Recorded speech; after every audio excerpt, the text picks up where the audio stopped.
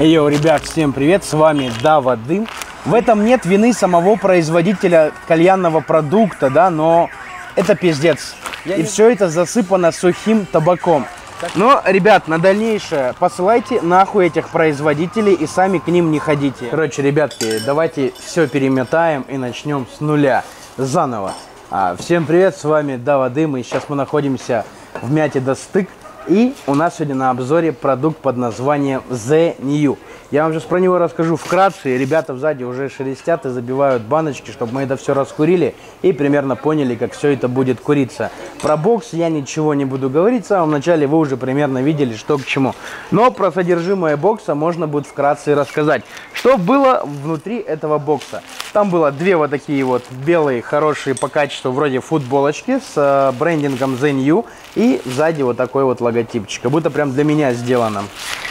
А, также было две кружечки, в которых можно попивать тот самый сухой, который был да, в, этих, в этом боксе. Тоже The New Tobacco. На самом деле, если примерно вот так вот посмотреть, то это очень похоже на логотип Bloody и на логотип Left 4 Dead. Да? Кто играл, тот шарит. Если играл, ставь лайк.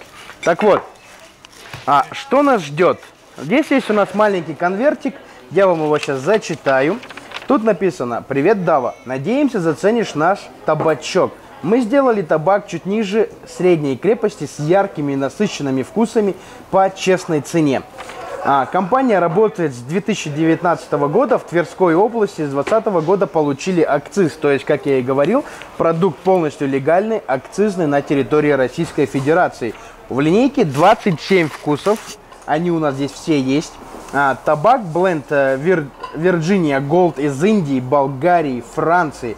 Ароматизаторы японские, немецкие и французские. Рекомендованная розничная цена за 100 граммов акцизного продукта всего лишь 350 рублей. У ребят пока есть сейчас здесь 100 граммовые баночки, но в дальнейшем, ребятки, нам предоставят уже 250 граммов для хареки и для кальянных в целом. А, что у нас здесь есть? У нас есть вот такие вот баночки. По дизайну очень просто, как и, собственно, само название The New.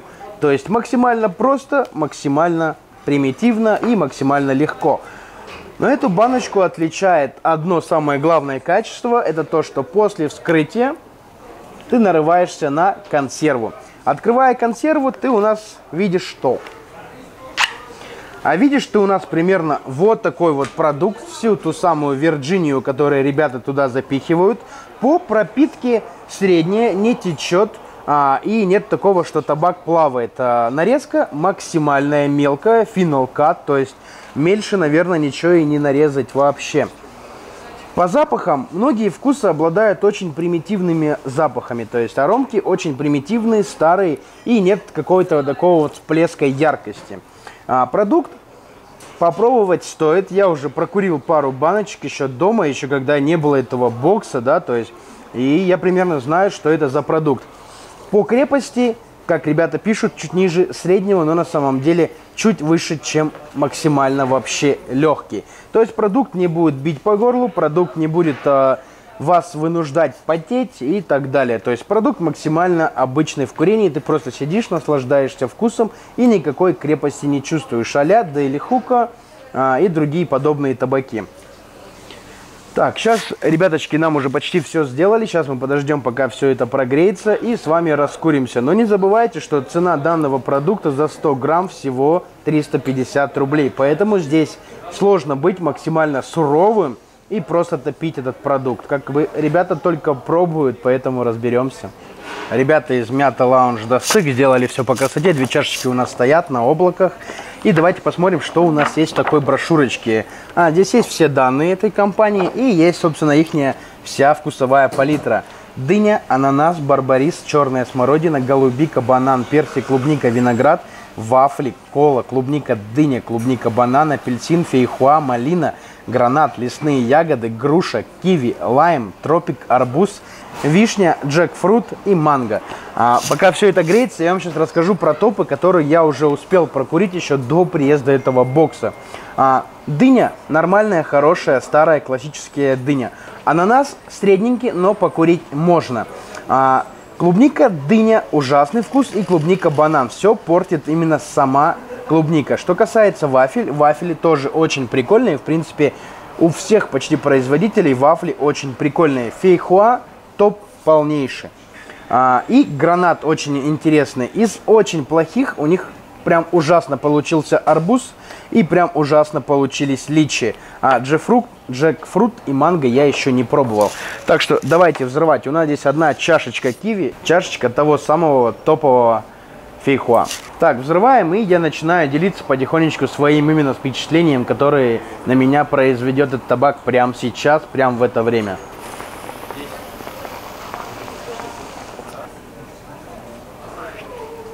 Это у нас получается фейхуа.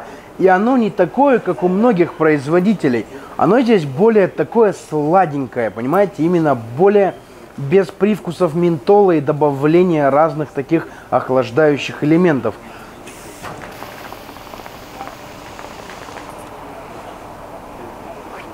Как я и говорил, по крепости очень легко, очень доступно. Но что касается температурного режима, то тут у табака возникают маленькие проблемки. Если его тщательно не прокуривать и не курить, то сам сироп начинает просто запекаться и давать такой, знаете, не совсем прям тотальный плохой вкус. Немного неприятный аромат появляется, когда начинает запекаться вот этот сироп. А что касается самого листа, то это Вирджиния, и в этом купаже ее сложно вообще понять. А здесь по факту ты не чувствуешь никакого табачного привкуса, только аромка. И за счет того, что на многих вкусах аромка очень слабая и не очень крутая, то получается просто некоторые вкусы максимально провальные.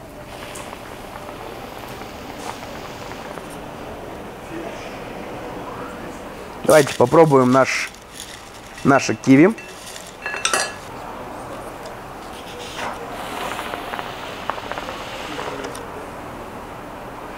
Про что я, собственно, и говорил. Вот мы немного перетянули, пока курили наши фейхуа, то киви уже немного припекся и получается не совсем приятное, знаете, першение в горле.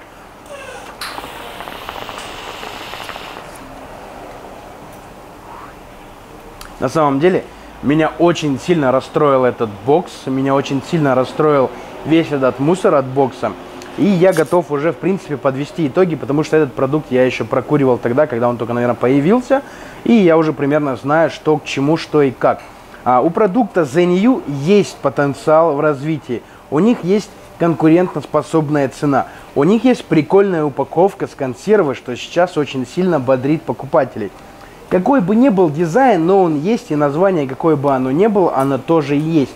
Если в дальнейшем этот табак выстрелит так, что «мама, не горюй», то такие слова, как «зенью» нам покажутся довольно-таки крутыми. А теперь, что касается сам продукт, само сырье. Здесь ребятам нужно будет проработать множество вариантов, как им накладывать аромку, выровнять немного сырье и самое главное, поработать с жаростойкостью своего продукта.